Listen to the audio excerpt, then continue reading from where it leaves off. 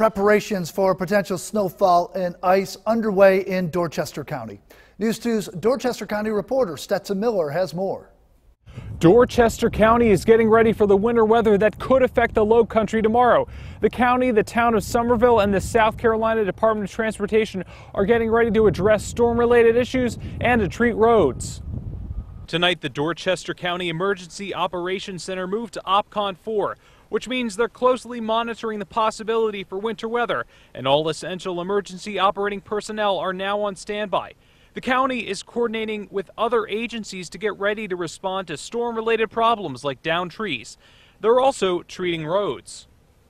It's going to have three snow plows and five uh, salt spreaders dedicated here to our efforts in Dorchester County, and the town of Summerville will also be pre-treating the Berlin-Meyer Parkway. The town of Summerville will pre-treat the Berlin G. Myers Parkway with a sand and salt mixture. The town is also preparing shift schedule changes for public safety units to go out.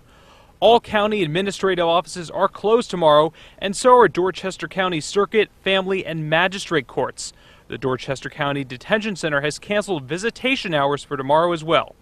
The county is also reminding residents to be careful with space heaters during the potential winter weather event after recent fatalities. Um, is if they're using portable safety heaters to make sure that they do not keep them on in overnight hours or if anybody is asleep, uh, make sure that they're plugged directly into the wall because they do um, pull a lot of power.